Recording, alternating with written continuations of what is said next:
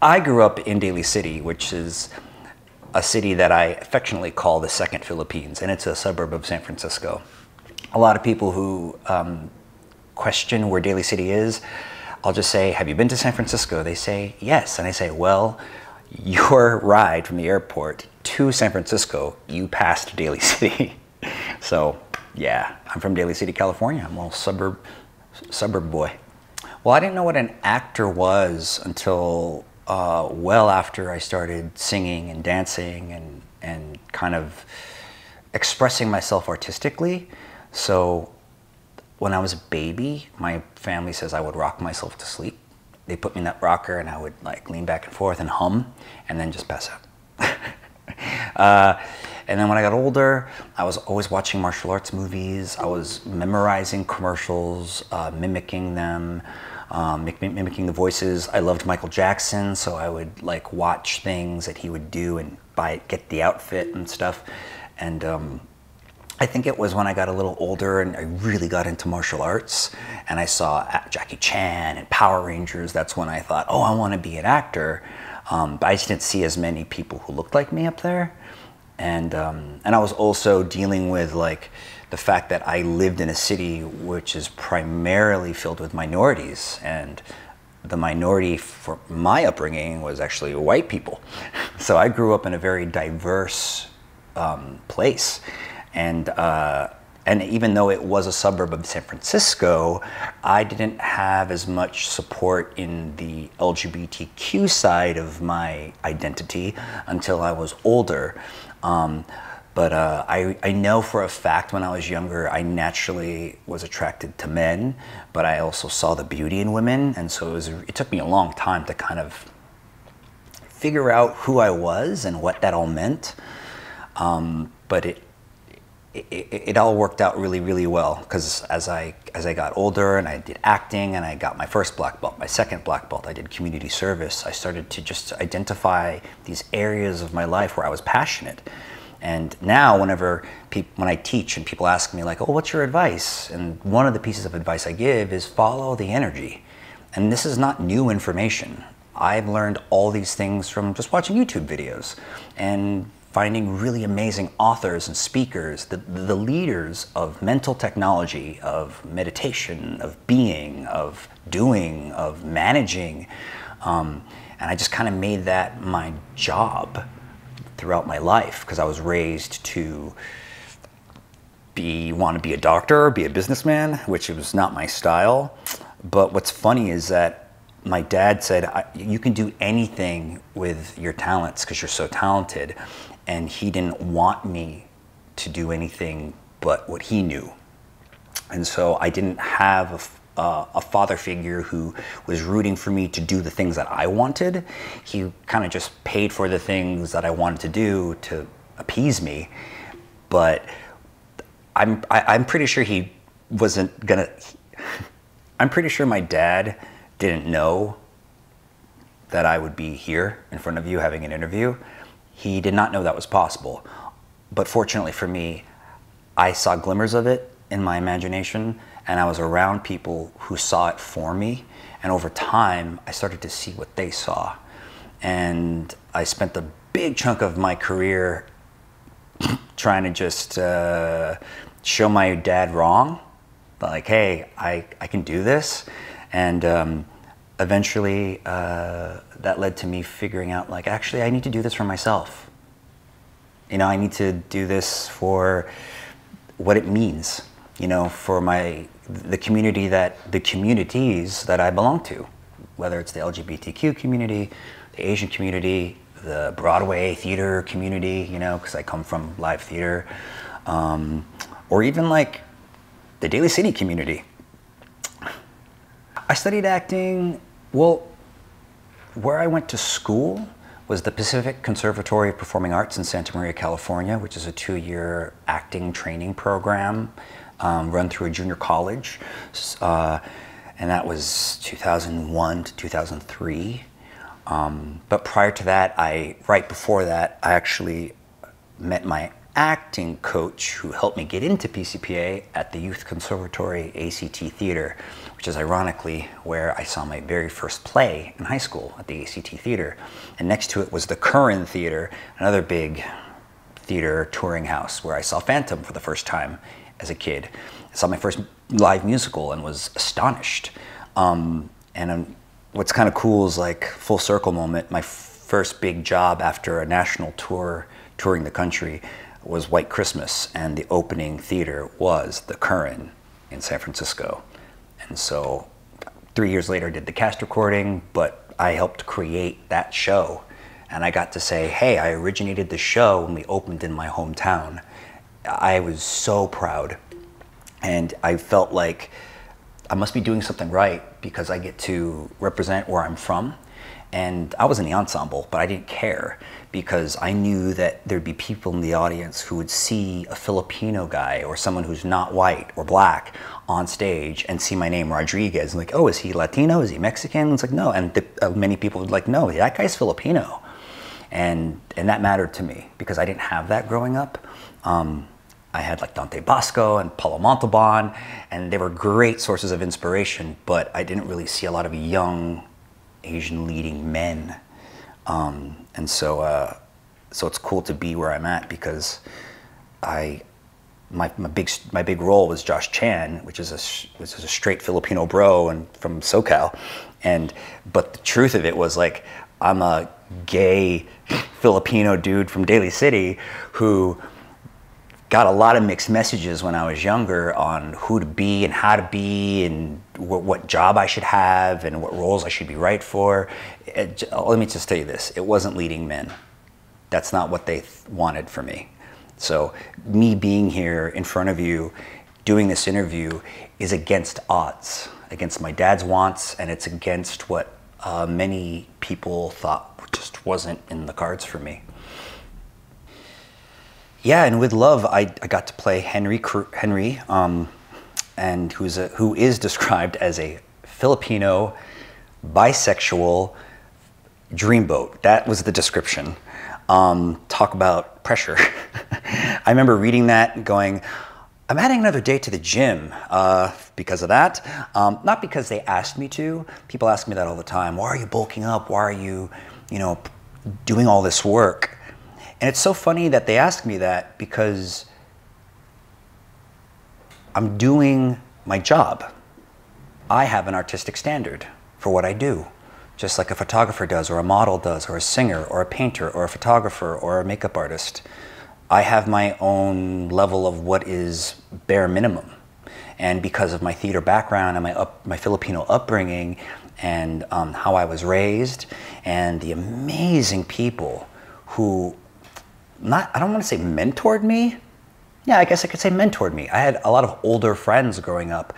Some straight, some gay, some bi, some married, some single, some men, some women. It didn't matter, but they all kind of rooted for me and saw me for who I was and who I wanted to be. And um, so when I got this opportunity to play Henry, I was astonished because this doesn't exist out there in TV in Hollywood. You want me to play a Filipino American young man who's bisexual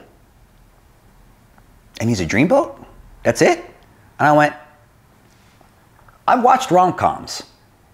This character is played by a white guy almost every time. And so when I got this part, I thought I have an opportunity to normalize sexuality in the, in, in the Filipino culture because when I was a kid, I, I felt like, well, I don't talk like the, like the, like the members of my community talk. Like I don't, I don't see role models who are showing me the various nuances and gray areas of sexuality. And that's a really important thing for us to acknowledge right now because it's a spectrum, just like colors of the rainbow, you know? Um, how appropriate, because rainbow flag, hey, pride. Um, but yeah, so so playing that role on on with love was very pivotal for me, and it allowed me to uh, represent in a way that I had not been given the chance to, because it's very different than Josh Chan. Um, their paradigms, their outlooks on life are very different. I also started training with the Acting Center during the pandemic, um, and it saved me um, artistically because I don't prepare as an actor the same way. I also don't look at my life the way I used to. I don't. I'm not racing against anyone now because uh, that's like a finite mindset. Um, I read a lot of Simon Sinek, S-I-N-E-K, um, and like I don't. I'm not going to race against my my colleagues. It's not a race. Uh, I'm an infinite player. I work hard and smart every day to continue playing the game so that I can always play and have a career that isn't just TV and film. I also do voiceover work. I do animation. I do video games. You know, I'm a teacher. Um, you know, and and, and, and like I said before at the beginning of the interview, it's just my way of following my passion, following where my energy goes. And I think when you tell someone that and they actually do it, this amazing thing called joy happens, and people want to be around that. And that is also how we create awesome things. So that's this. That's kind of the new path I'm on, and uh, it took me a long time to discover that all these things could kind of work together.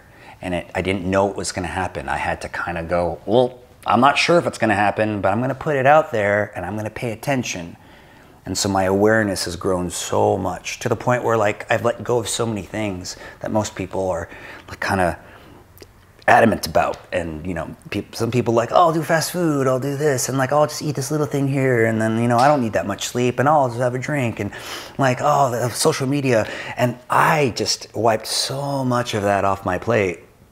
And then all of a sudden, I realized I had an appetite for all these other things that brought me joy and kind of resulted in a happy life and a balanced life. Um, and that has helped me artistically and my family, me and my husband, our dog Kona, she's adorable, she's a year and 10 months, and my, my relationships, both personally and professionally, and my relationship to myself as just a person.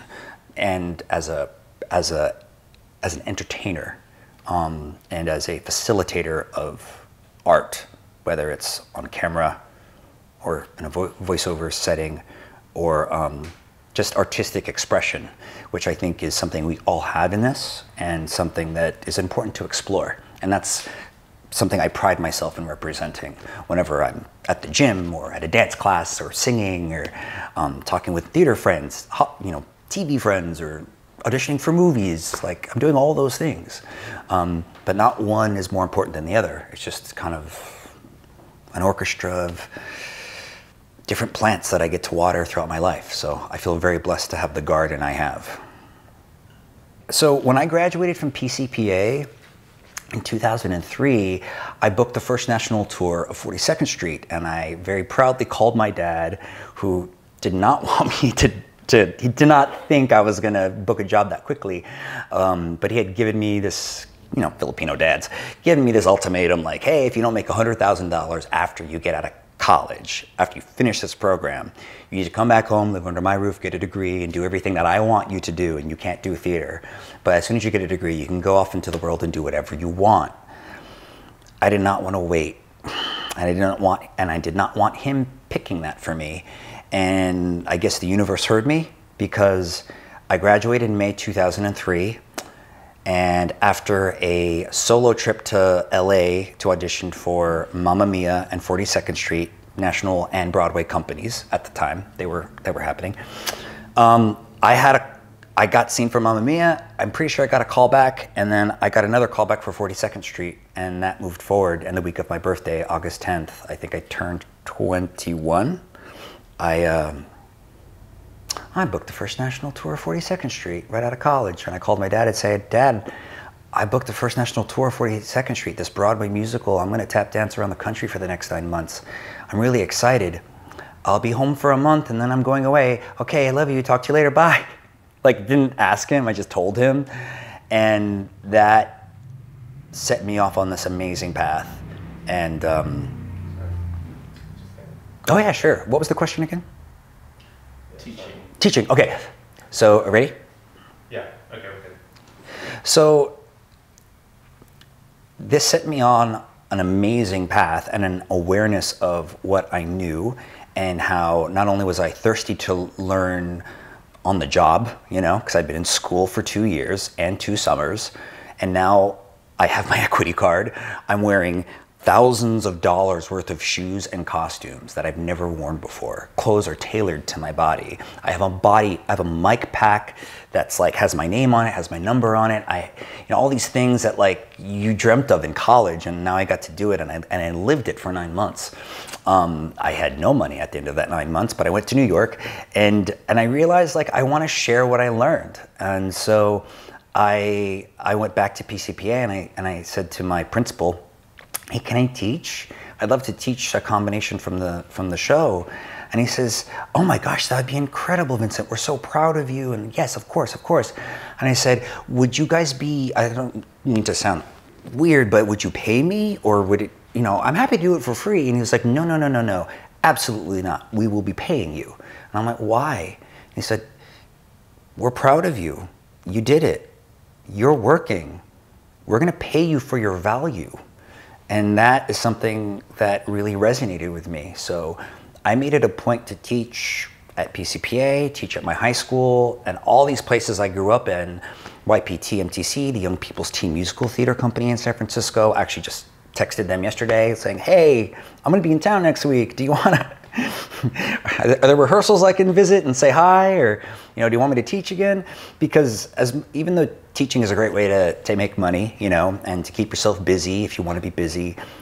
At first, I'll, admit it was a great way to pat myself on the back for my accomplishments, but it, but through age and wisdom and the grindstone of New York, um, all of a sudden I started to teach technology. I started to teach how to help people, how people could help themselves and get what they want and achieve bigger, greater things in their career. Because I started to learn how to do that, so I kept wanting to pass it on. And every time I taught it, I learned it twice.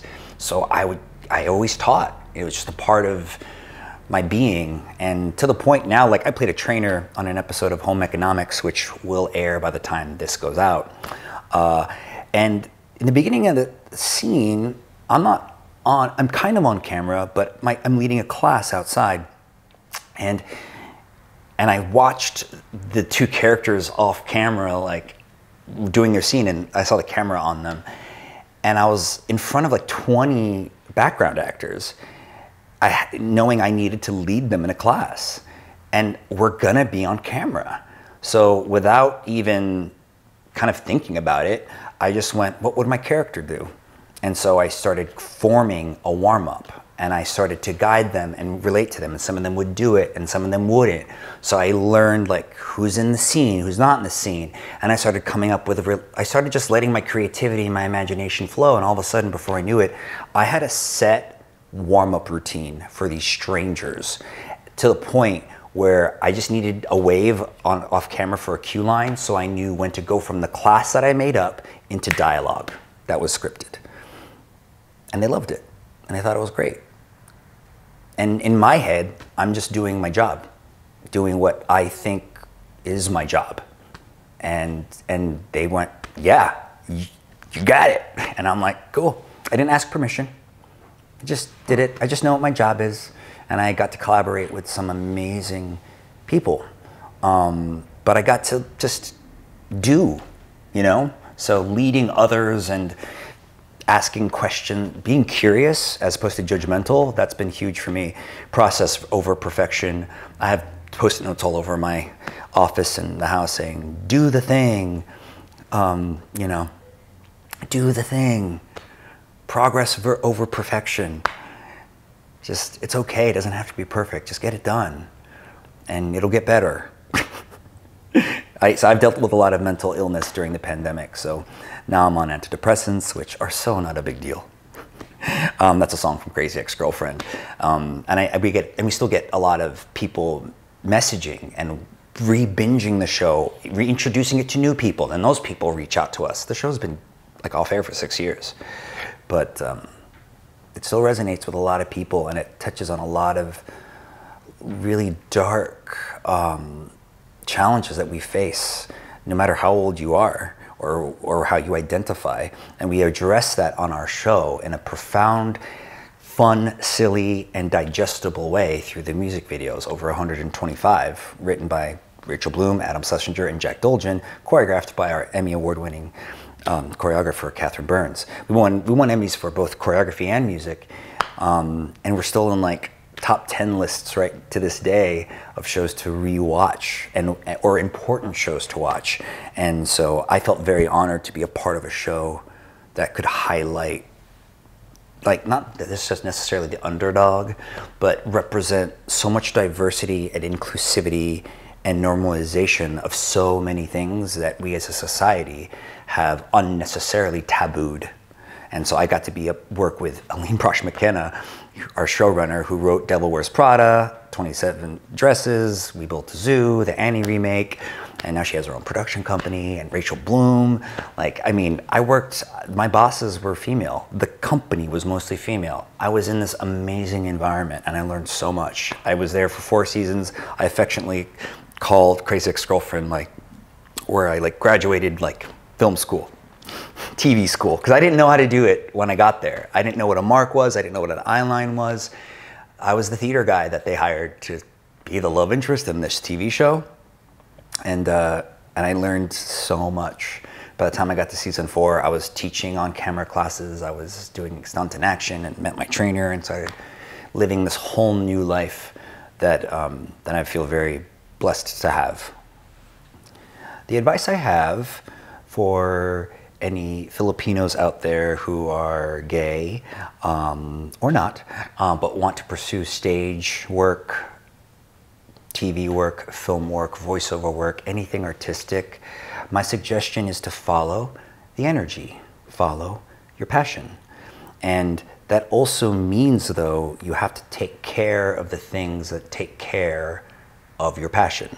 So you, so you don't, you're not just a singer but you realize being a singer, you have to take care of your voice. If you're on stage, you need to take care of your appearance. You have to take care of your skin. A lot of what we do when you're on camera or you're you are the product, it, it, you are the product. So like um, you know, as people were asking earlier, oh, did you get cupping done? And yeah, I got cupping done on my shoulders and my back because I that's one of the ways I take care of myself. So you have to take care of yourself and you have to take care of what you want and how you see yourself contributing to whatever this is, this life. Everyone has different religious beliefs and outlooks on life, um, you know. And I think it doesn't matter where you're from. I think it. I think it's really important to remember where you come from and where you want to go, and keep in mind it doesn't matter where you start. It matters how you finish and what you do with the tools and the training you already have, which you can always grow and you can always sharpen. So take that first step. Oh, I stumbled. Great. Do it again. Great. Do it again. Oh, I fell. Great. Do it again. Repetition is a great way to get to know yourself.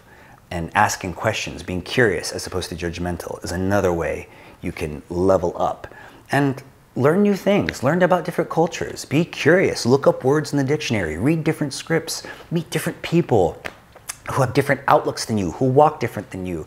You know, be curious because as you get to know the world, all of a sudden your imagination has more input and now your dancing is different, now your singing is different now how now when you read a script you have 50 ideas. Whereas when you first read scripts in college you're like how do i do my job? Oh my gosh i'm so overwhelmed. But it's like well how you do anything is how you do everything. So if you approach it with fear that's what you're going to get fear. But if you approach it with love and enthusiasm and gratitude that's what you'll get. So how did you get how did i get good at tap dancing? Or how did i dance like gene kelly before i even knew how to tap dance I would just dance around like Gene Kelly, even though I didn't know how to tap dance. because I enjoyed it. Simply because I enjoyed it. The moment I learned choreography to these movements that I had never known the actual steps for, was at the 42nd Street audition. And I dressed like Gene Kelly from An American in Paris. Slacks, white, um, white tank top, suspenders, dress shirt over it, untucked two-tone shoes, high water pants, slacks. That's how I showed up to that audition. When I saw him teach the steps to these movements that I've always known, I was so overjoyed. I was a beam of light. I danced the out of that choreography. And after I booked the job and was about to close the show, I was out having drinks with the dance captain, Jeremy Benton, who's a very good friend of mine now, and we're still in touch. And he's now a leading man. Musicals all over. We were in White Christmas together, original cast. And I said, Jeremy, I have to have a question for you. Why did you hire me for this job? I'm the worst tap dancer in the show, I'm the least experienced. Why did you hire me from that dance call? And he said, Because Vinny, I taught you the choreography. I can teach anyone the choreography who's a dancer. But when you danced, you were so happy and excited to be doing what you were doing. And you obviously knew how to dance like that and what it meant to dance like that. And that's why we hired you.